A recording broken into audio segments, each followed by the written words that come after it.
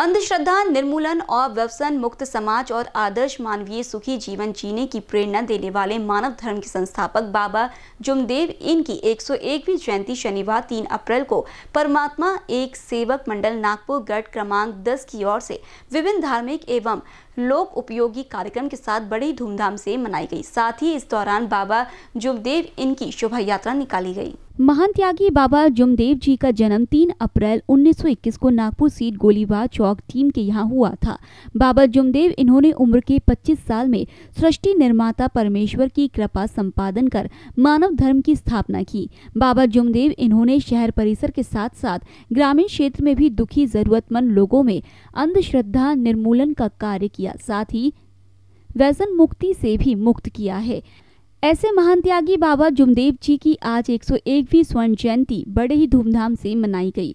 इस दौरान परम पूज्य परमात्मा एक सेवक मंडल गट नंबर 10 की ओर से शहर के बेसा स्थित विज्ञान नगर से बाबा जुमदेव इनकी शोभा यात्रा निकाली गई, जो शोभा यात्रा शहर के मानेवाड़ा अयोध्या नगर बेसा बेलतरोड़ी, रामेश्वरी, नरसाला, धामना चिकना इन परिसरों से घूमकर विज्ञान नगर में शोभा यात्रा का समापन किया जाएगा। इस शोभा यात्रा में बड़ी संख्या में परमात्मा एक सेवक मंडल नागपुर के सेवक और सेविकाएँ बड़ी संख्या में उपस्थित थे। आ, आज महान त्यागी बाबा जिंदोजी यांच्या एकशे एकवी जन्य जयंतीनिमित्त आम्ही रॅली काढली आहे. गट क्रमांक दहा तर्फे रॅली काढण्यात येत आतापर्यंत ऑर्डर नव्हते मंडळाचे त्यामुळे आम्ही शुभारंभ करू शकलो नव्हतो.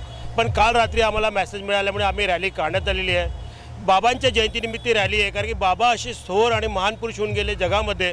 जे जगा वेगळे आहेत. त्यांचे कार्य सत्कर्म, धर्म, प्रेम, मर्यादा, सत्य, मर्यादा प्रेमाने शिकवणारे बाबा हे जगा वेगळे आहे. आम्ही त्याच, त्याच्याच मार्गावर चालून आम्ही रॅली काढलेली आहे.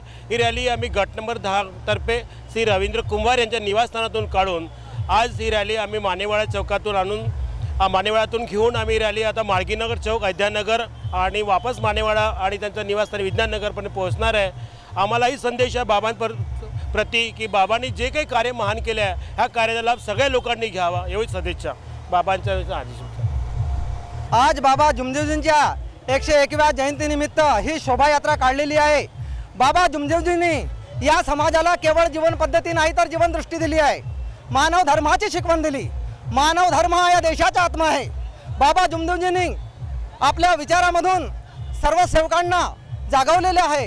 अंधश्रद्धा निर्मूलन व्यसनमुक्ती समाज स्त्री भ्रूण हत्या असे नाना प्रकारचे कार्य बाबांनी केलेल्या समाजाकरता केलेले आहे. बाबा जुमदेवजी हे एक जगा वेगळे एक संत होऊन गेले यात्रा के समापन के बाद महाप्रसाद का आयोजन भी परमात्मा एक सेवक मंडल नागपुर गढ़ क्रमांक 10 की ओर से किया गया है। कोरोना में दो साल तक किसी भी तरह के उत्सव त्योहार मनाए नहीं गए, जिसके बाद अब सरकार द्वारा कोरोना के नियम हटाए गए हैं।